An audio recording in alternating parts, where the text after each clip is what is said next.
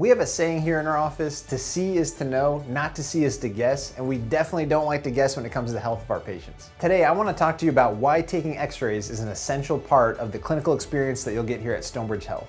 In our office, we use digital motion x-ray technology for the neck and lower back regions.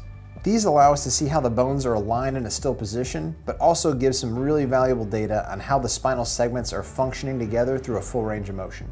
From a chiropractic and physical therapy standpoint, this helps us clearly identify the joints that need the most attention and cue in on the muscles, tendons, and ligaments that might also be contributing to the pain or to dysfunction happening within the body.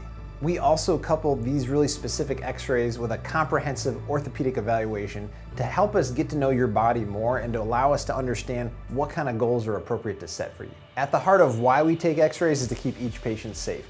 X-rays are a great way for us to screen for pathology, vascular compromise, fractures, ligament instability, or other things that could prompt earlier referrals.